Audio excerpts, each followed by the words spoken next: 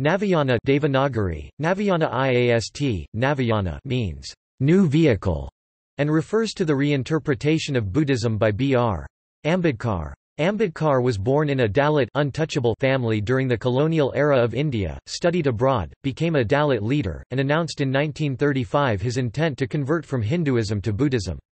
Thereafter Ambedkar studied texts of Buddhism, found several of its core beliefs and doctrines such as Four Noble Truths and non-self as flawed and pessimistic, reinterpreted these into what he called new vehicle of Buddhism. This is known as Navayana, also known as Bhimayana after Ambedkar's first name Bhimrao.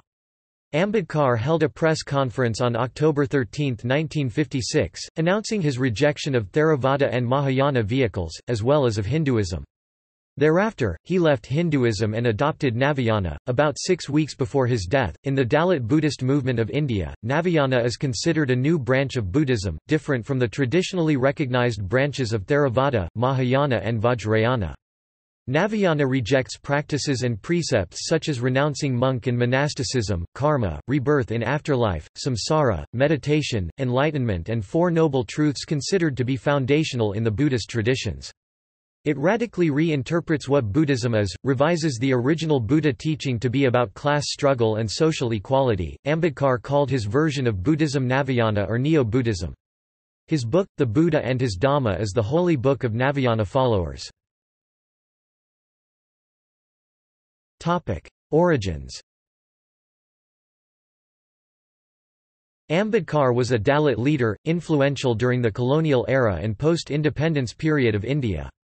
He was the 14th child in an impoverished Maharashtra Dalit family, who studied abroad, returned to India in the 1920s and joined the political movement. His focus was social and political rights of the Dalits. To free his community from religious prejudice, he concluded that they must leave Hinduism and convert to another religion. He considered Islam, Christianity, Sikhism and Buddhism. He chose Buddhism in the form of Navayana. Doctrines and concepts In 1935, during his disagreements with Mahatma Gandhi, Ambedkar announced his intent to convert from Hinduism to Buddhism. Over the next two decades, Ambedkar studied texts of Buddhism and concluded that several of the core beliefs and doctrines of mainstream Theravada and Mahayana Buddhism were flawed, pessimistic and a corruption of the Buddha's teachings. In particular, according to Eleanor Zelliot, a professor of history specializing on Dalit community in India, Ambedkar found the following beliefs and doctrines of Buddhism as problematic. Buddha's Paravajrath Buddhist tradition believes that the Buddha one day saw a sick man, an old man and a dead body in sequence, then he left his princely life and sought insights and a way out of human suffering. According to Ambedkar, this was absurd. He proposed that the Buddha likely sought insights because he was involved in making peace among tribes. Four Noble Truths Ambedkar believed that this core doctrine of Buddhism was flawed because it denied hope to human beings. According to Ambedkar, the Four Noble Truths is a gospel of pessimism and may have been inserted into the Buddhist scriptures by wrong-headed Buddhist monks of a later era. These should not be considered as Buddha's teachings in Ambedkar's view. Anatta, karma and rebirth These are other core doctrines of Buddhism. Anatta relates to no self no soul concept. Ambedkar believed that there is an inherent contradiction between the three concepts, either anatta is incorrect or there cannot be karma and rebirth with anatta in Ambedkar's view. Other foundational concepts of Buddhism such as karma and rebirth were considered by Ambedkar as superstitions. Bhikshua Bhikshu is a member of the monastic practice, a major historic tradition in all schools of Buddhism. According to Ambedkar, this was a flawed idea and practice. He questioned whether a bhikshu tradition was an attempt to create a perfect man or a social servant, states Zelliot. Nirvana According to Navayana, nirvana is not some other worldly state of perfect quietude, freedom, highest happiness, nor soteriological release and liberation from rebirths in samsara. In Ambedkar's view, nirvana is socio-political, kingdom of righteousness on earth, in which people are freed from poverty and social discrimination and empowered to create themselves happy lives." State Damien Keown and Charles Prebish. Conversion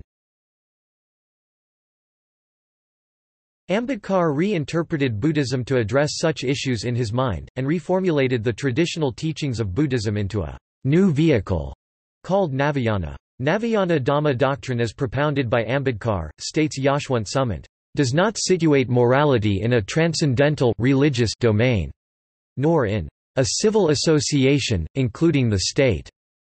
Dhamma is derived from and the guiding principle for social conscience. Navayana Buddhism began in 1956, when B. R. Ambedkar adopted it, and 380,000 Dalit community members converted to Navayana from Hinduism on 14 and 15 October 1956. After that on every year the 14th of October is celebrated as Dhammachakra Pravartan Day at Dikshabhumi, Nagpur. I will accept and follow the teachings of Buddha. I will keep my people away from the different opinions of Hinayana and Mahayana, two religious orders. Our Buddhism is a Neo-Buddhism, Navayana. Scripture and practice The writings of Ambedkar were posthumously published as the Buddha and his Dhamma, and this is the scripture for those who follow Navayana Buddhism. Among the Navayana followers, states Keown and Prebish, this is often referred to as their Bible and its novel interpretation of the Buddhist path commonly constitutes their only source of knowledge on the subject. In this scripture of the Navayana tradition, there are no doctrines of renunciation and monastic life, or karma, or rebirth, or jhana meditation, or nirvana, or realms of existence or Four Noble Truths, ideas found in the major traditions of Buddhism. The text presents the Buddha as teaching a social empowerment framework.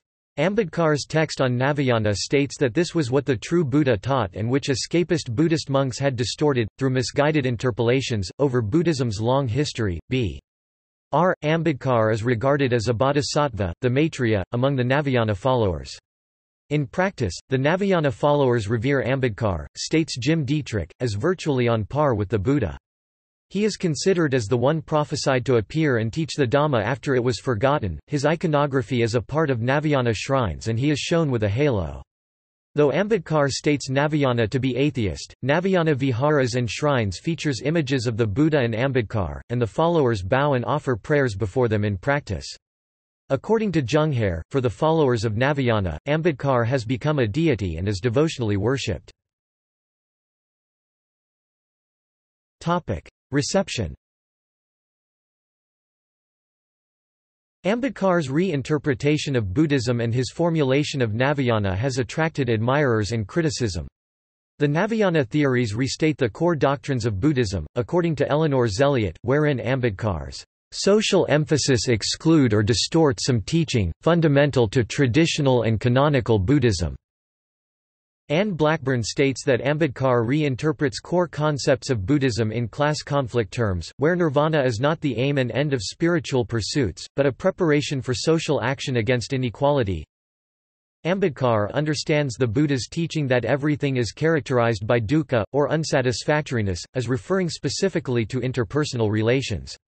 In one instance Ambedkar presents a dialogue in which the Buddha teaches that the root of dukkha is class conflict and asserts elsewhere that the Buddha's conception of dukkha is material. Nibbana SKT. Nirvana the state or process which describes enlightenment, is considered by Ambedkar a precursor for moral action in the world and explicitly associated with a non-monastic lifestyle. Nibbana means enough control over passion so as to enable one to walk on the path of righteousness. Ambedkar's interpretation of dukkha and nibbana implies that moral action, for which nibbana is preparation, will rectify the material suffering of inequality. Ambedkar considered all ideas in Theravada and Mahayana Buddhism that relate to an individual's merit and spiritual development as insertions into Buddhism, and something that cannot be accepted to be the word of the Buddha. Buddhism, to Ambedkar, must have been a social reform movement. Martin Fuchs states that Ambedkar's effort is to be admired as an attempt to seek a post-religious religion, which transcends distinctions and is being driven by the reasonable principle of sociality, not in the sense of spiritual doctrines, philosophical speculations and existentialist questions, according to Blackburn. Neither view of traditional Buddhism, as a social reform movement or as some other stable entity interpreted or misinterpreted from a social reform perspective is historically accurate. thereby placing Navayana theories to be ahistorical though it served as an important means to Dalit political mobilization and social movement. Scholars broadly accept that the depictions of the Buddha as a caste or social reformer are inaccurate. Richard Gombrich, an Indologist and a professor of Buddhist studies, states that there is no evidence that the Buddha began or pursued social reforms or was against a caste system, rather his aim was at the salvation of those who joined his monastic order. Modernist interpreters of Buddhism, states Gombrich, keep picking up this mistake from Western authors, a view that initially came into vogue during the colonial era. Empirical evidence outside of India, such as in the Theravada Buddhist monasteries of the Sinhalese Society, suggests that caste ideas have been prevalent among the Sangha monks, and between the Buddhist monks and the laity. In all canonical Buddhist texts, the Kshatriyas warrior caste are always mentioned first and never other classes such as Brahmins, Vaishyas, Shudras or the Untouchables. The novel interpretations and the dismissal of mainstream doctrines of Buddhism by Ambedkar as he formulated Navayana has led some to suggest that Navayana may more properly be called Ambedkarism.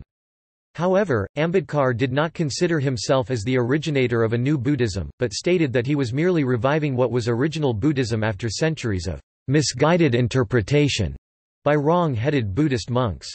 Others, states Skaria, consider Ambedkar attempting a synthesis of the ideas of modern Karl Marx into the structure of ideas by the ancient Buddha, as Ambedkar worked on essays on both in the final years of his life. According to Janet Contursi, Ambedkar reinterprets Buddhist religion and with Navayana, speaks through Gautama and politicizes the Buddha philosophy as he theologizes his own political views. Topic status in India According to the 2011 census of India there are 8.4 million Buddhists in India. Navayana Buddhists comprise about 87% 7.3 million of Indian Buddhist community, and nearly 90% 6.5 million of all Navayana Buddhists in India live in Maharashtra state.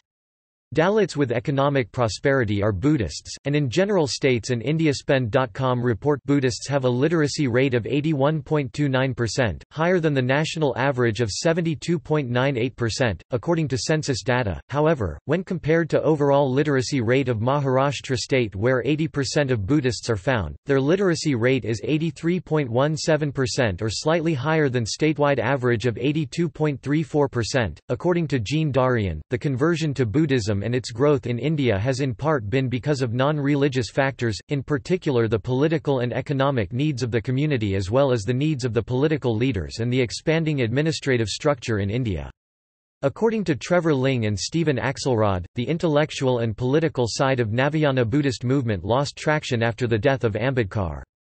Topic see also Buddhism in India Buddhist modernism Buddhist socialism Engaged Buddhism Humanistic Buddhism topic References topic Further reading Ambedkar, B. R. 1950. Buddha and the Future of His Religion. The Maha Bodhi. 58 4–5, 117–118, 199–206. Ambedkar, Bhimrao Ramji, Rathore, Akash Singh, Verma, Ajay eds 2011. The Buddha and His Dhamma, a critical edition. Oxford University Press. ISBN 9780198068679, CS1 maint, extra text, authors list link Jondhale, Surendra, Beltz, Johannes 2004. Reconstructing the World, B.R. Ambedkar and Buddhism in India, New Delhi, Oxford University Press, ISBN 0195665295 Singh, Akash 2011. The Political Theology of Navayana Buddhism, in, Paderlasanchi, Mika Luoma Aho, The Future of Political Theology, Religious and Theological Perspectives, Farnham, Surrey, England, Burlington Vermont, Ashgate, pp. 159–172. ISBN 9781409417606 Topic External links PJCL van der Velde, The Biography, Navayana as the new vehicle and Upaya, Radboud University, The Netherlands Psychotherapy and Buddhism Byung Jo Chung, Navayana Buddhism, A Fresh Direction for Buddhism to Reflect the New Millennium, International Journal of Buddhist Thought and Culture, September 2003, Volume 3.